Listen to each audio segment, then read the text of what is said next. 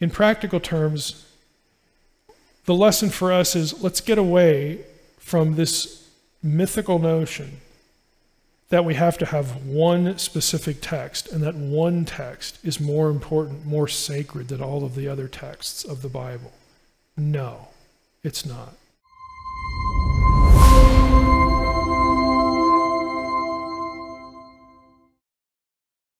What we know as the Masoretic text really comes from about 100 AD. So that's after the Second Temple period. There's no one Masoretic text. What happened in 100 AD, again, I, I actually did this in a Q&A, I think after the first session. We had a question where I had to get into this. Around 100 AD, the Jewish community had some hard decisions to make. The, the, the, early church had begun, and the Christians, which was, I mean, they had a lot of Gentiles in there, they used the Septuagint because everybody could read it. It was in Greek. And, and some of the readings of the Septuagint, some of them, were very conducive to what Jesus had taught or, or points of Christian theology. Uh, they, they provided good, good launching points of argumentation against the, you know, the Jewish rejection of Jesus as Messiah. So the Septuagint became a, a really powerful witnessing tool, if you want to call it that. And so the Jewish community thought, you know what we need to do? We need to circle the wagons here. We need to produce in our little group here, our, our Jewish community here in Jerusalem, we need to produce one Hebrew Bible that we will devote ourselves to copying from here to eternity. And that will become our Bible. We are going to outlaw the use of the Septuagint in our communities. If a text, a Hebrew text, reflects what the Septuagint has, it is going to be rejected and dismissed.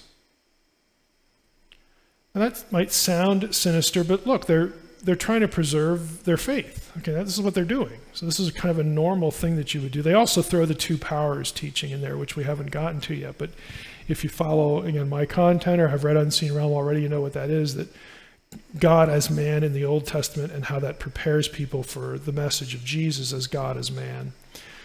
That used to be part of Jewish theology.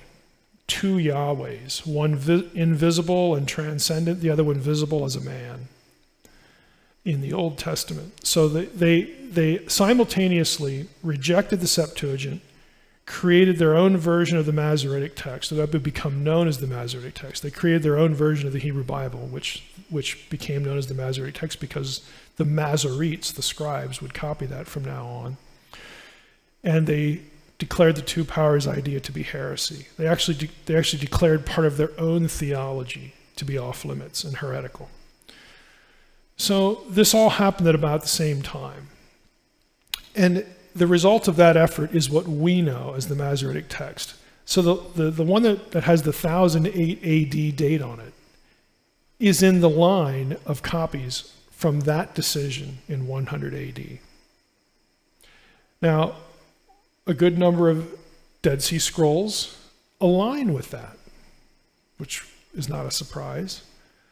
But they don't all align completely when the, when the rabbis made this decision in 100 AD, there, there were people around you know, the, the world in the Jewish community that said, Well, I'm not doing that.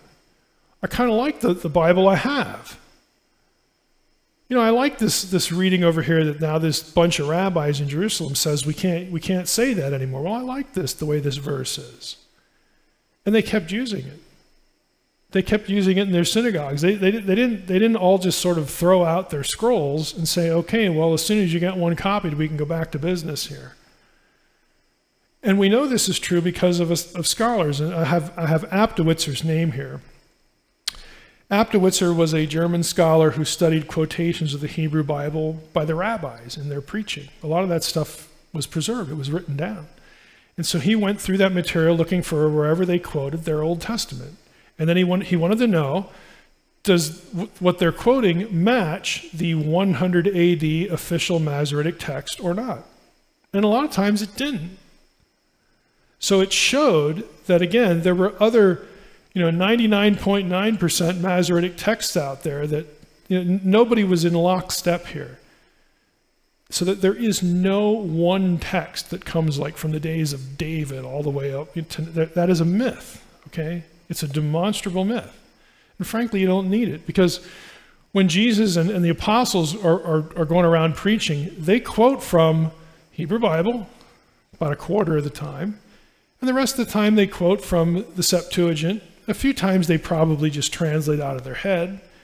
But it, it all carries the weight of the Word of God. They're, they're tethering what they teach to the Word of God. And they don't care to, to stop and say, no, wait, I better get this quotation right so that it aligns with this one text preserved for all. No, nobody's thinking that because it's not real. You know, you, you can witness to someone today and quote them John 3:16, and it may not be exactly like the one in, like in the Bible in your lap, but you know what? It's the word of God, and God's going to use it. So we need to dispense with this mythological thinking again that we have about the transmission of the Bible and just say, look, all of these things, all these English translations, all these ancient translations, they were the Word of God. That's how they recited, that's the weight they carried. It reflected the teaching and the mind of God, okay, that we have in Scripture. There was no need to get every quotation right or to quote from one specific edition. No need at all. If, you know, if Jesus didn't care, why should you? Honestly. So Aptowitzer, this is just a quote from an article about his work. You know, there's still evidence of numerous variants to the Masoretic text, including variants which are preserved in rabbinic literature. Victor Aptowitzer collected variants of the biblical books of Samuel, Joshua, and Judges from the Midrashim and Talmudim. Then he mentions Andy Teeter's study, Scribal Laws, lays a solid foundation for further studies on rabbinic variants in Hebrew scripture. There's still people doing this. Aptowitzer's work is actually, I think, in down at four volumes is the footnote. You probably can't even see it on the screen, but I put it in there. Uh, it's in German, but four volumes. He collected four volumes worth of variants, you know, from these biblical books. Now, that's a lot of material. And I, I know Andy Teeter. Uh, he teaches uh, at Harvard Divinity School right now. And again, he's continued in this work. you know, and with all due respect, this is the kind of thing that, that scholars like to think about and read about. In practical terms, the lesson for us is let's get away from this mythical notion that we have to have one specific text, and that one text is more important, more sacred than all of the other texts of the Bible. No, it's not. And, and that, again, is an important thing to realize that even in antiquity, they didn't think this way.